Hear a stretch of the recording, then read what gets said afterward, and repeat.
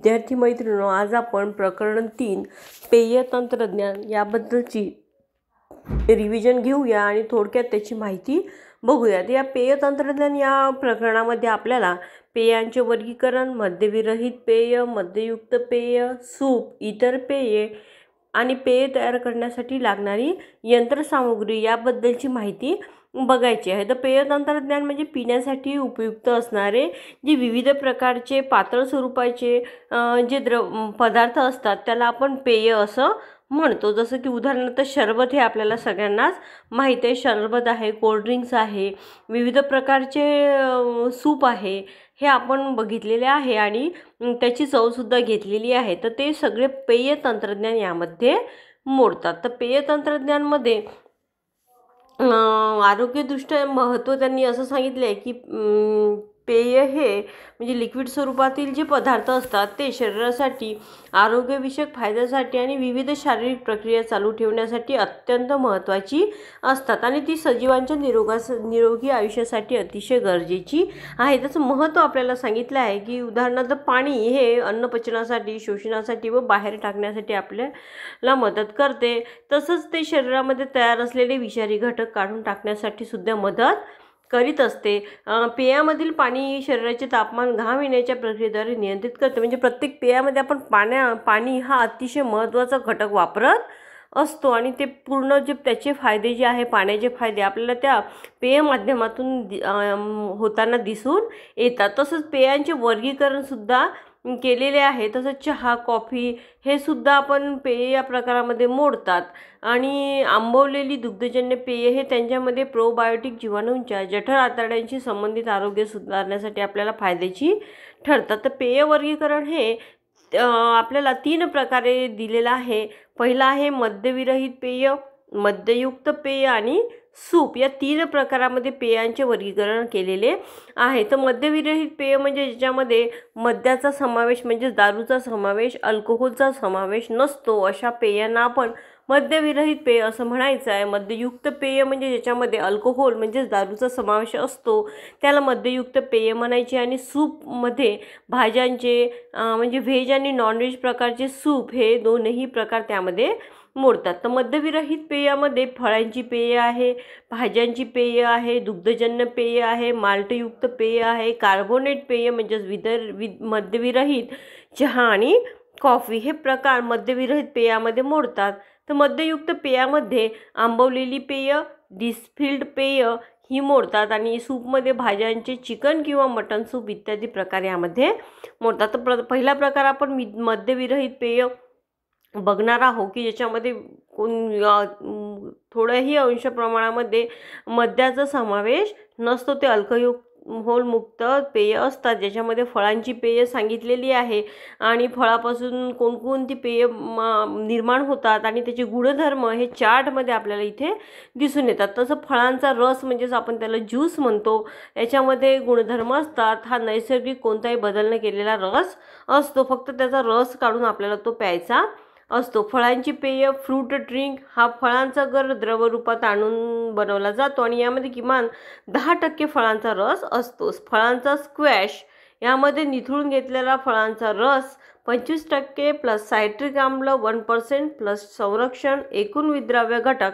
चाळीस ते पन्नास ब्रिक्स उदाहरणार्थ स्क्वॅश आंबा स्क्वॅश इत्यादी पदार्थ त्यामध्ये मोडतात. फळा फळांचा कॉरिडियल यामध्ये पारदर्शक चमकणारा साखर घालून गोडी आणलेला फळांचा रस असतो. उदाहरणार्थ लिंबू कॉर्डियल यात पंचवीस टक्के रस plus one point five percent citric आम्ल प्लस एकूण विद्राव्य घटक तीन अंश ब्रिक्स आणि संरक्षक घटक असतात. फ्रूट पंचमध्ये हे कॉकटेल किंवा विविध रसांचे मिश्रण पंचवीस टक्के प्लस साखर सिक्स्टी फाईव्ह पर्सेंट ब्रिक्स एवढं असतं. फ्रूट ज्यूस कॉन्सन्ट्रेट यामध्ये आठवलेला फळांचा रस यातून आमाण्याचा अंश तापून किंवा गोठवून काढून टाकलेला असतो. फ्रूट सिरपमध्ये कोणत्याही एका फळापासून तयार केलेला यात पंचवीस टक्के रस घर प्लस एकूण विद्राव घटक सिक्स्टी फाय पर्सेंट बिग अंश brix plus one point three ते one point five per percent citric आम्ल यामध्ये मिसळलेलं असतं. म्हणजे फ्रूट सिरपसुद्धा बनवले जातात.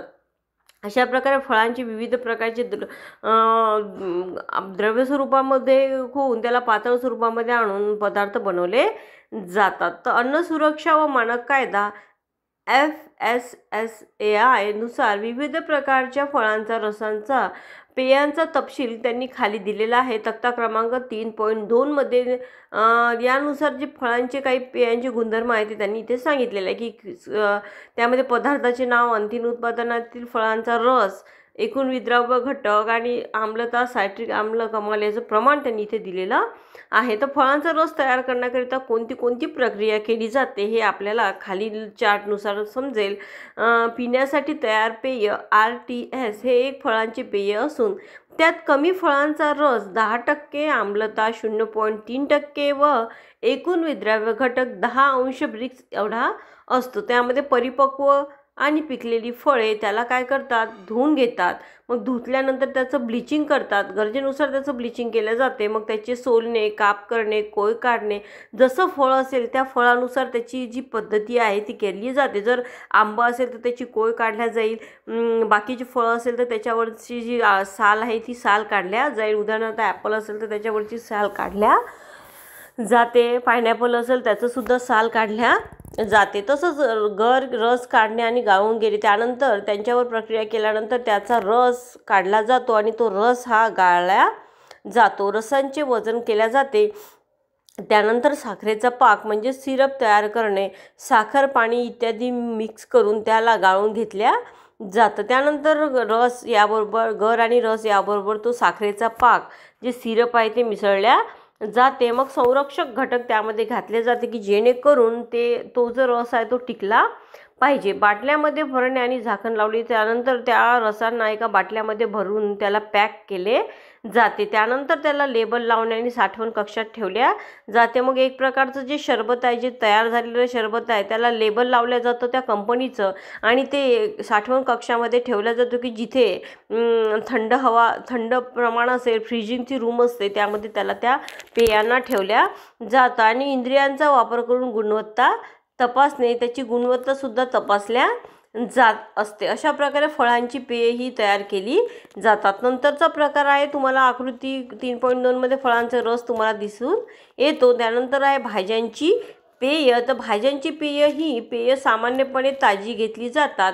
आणि ही एक एकाच भाजीची किंवा अनेक भाज्या एकत्र करूनसुद्धा याचा रस केला जातो. सर्वसाधारणपणे रस काढण्यासाठी उपयोगात आणलेल्या भाज्या उदाहरणार्थ गाजर टोमॅटो काकडी कारलं दुधी भोपळा बीटरूट इत्यादींचा वापर आपण औषधोपचार तसेच स्वयंपाकामध्ये सुद्धा करू शकतो. स्वाद सुधारण्यासाठी भाज्यांचा रस हा नेहमीच फळांच्या सोबत जसे की सफरचंद किंवा द्राक्ष यांच्या रसासोबत सुद्धा मिसळल्या जातो. त्यानंतर आहे दुग्धजन्य पेय. हे दूध हे पातळ अन्न असून ते लहान तसेच सगळ्यांनाच आवश्यक असणारं पेय समजल्या जातं. आणि हा दुधाचा पेयांचा प्रकार सगळ्यांनाच आवडलेला आपल्याला दिसून येतो. तो अतिशय लोकप्रिय असा पेय प्रकार म्हणून ओळखल्या जातं. साधं दूधसुद्धा घेतलं जातं. तसेच त्याच्यामध्ये विविध प्रक्रिया करूनसुद्धा दूध घेतल्या जातं. जसं मिल्कशेक आहे सुगंधी दूध आहे दह्यापासून पदार्थ आहे लस्सी आहे कस्टर्ड आहे मिठाई आणि गोड पदार्थसुद्धा केली जातात.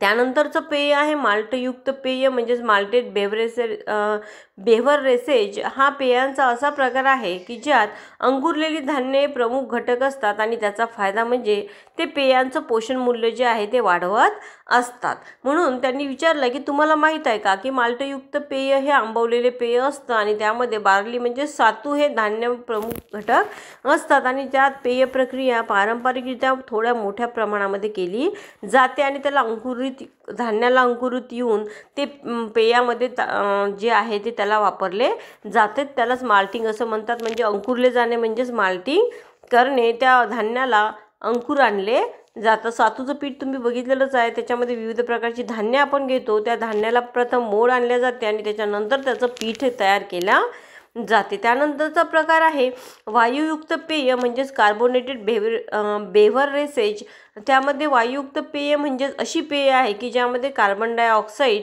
वायू हा साखरेच्या पाकात किंवा पाण्यामध्ये विरघळला जातो आणि कार्बन डायऑक्साईडमुळे वायूमुळे दाब वाढल्यानंतर जे बुडबुडे तयार होतात आणि त्या पेयामध्ये फेस हा तयार होतो. त्याला आपण सॉफ्ट ड्रिंक असं म्हणतो. जसे की पेप्सी आहे कोका कोला आहे इत्यादीचे पदार्थ आहे ते सॉफ्ट ड्रिंकमधून आपण वापरली जातो. तर त्यानंतर त्याची प्रक्रियासुद्धा सांगितलेली आहे की कोणती कोणती प्रक्रिया आहे. तर साखर गोळी देणारे पदार्थ पाण्याची पूर्व प्रक्रिया केली जाते सिरप तयार करते पाण्यामधील हवा तयार करणे काढल्या जाते मिसळणे मिश्रण करणे थंड करणे सी ओ टू घालणे आणि बाटल्यामध्ये भरणे झाकण लावणे आणि त्याला साठवून कक्षात ठेवणे. अशा प्रकारची क्रिया या वायुयुक्त पेयांमध्ये केली जाते. त्यानंतरचा प्रकार आहे मद्ययुक्त पेय. ती आपण पुढच्या भागामध्ये बघू.